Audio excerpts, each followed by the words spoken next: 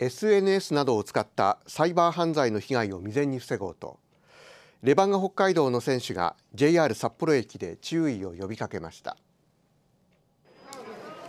男子バスケットボール B リーグのレバンガ北海道は同系のサイバーセキュリティアンバサダーを務めています。え今日は中野司選手が JR 札幌駅でクイズを交えるなどしてサイバー犯罪への注意を呼びかけました。忘れないように誕生日や名前などの簡単なパスワードにした。どちら×正解は×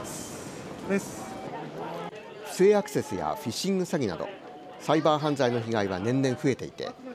道警はウイルス対策ソフトを使うなどの対策を呼びかけています。